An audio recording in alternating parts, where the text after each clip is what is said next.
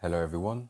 In this video, I will show you how, thanks to LinkHelp, you can automate the sending of messages, whether to wish someone's birthday or to congratulate someone on a promotion or a new job. So, in the text section, you write the message that you will automatically adapt, the first name to whom the message is sent. You can leave a delay of 30 seconds.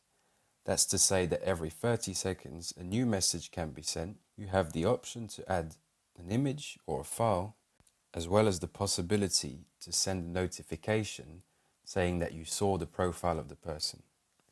You just have to click on send. The extension is now set and will continue to run in background processes. We can see that the message sent was adapted with the person's first name. Don't forget to click stop when you want to stop the extension.